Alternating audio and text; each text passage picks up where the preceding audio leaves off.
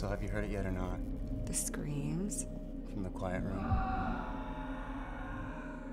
Hopeless Hattie. Who's Hattie?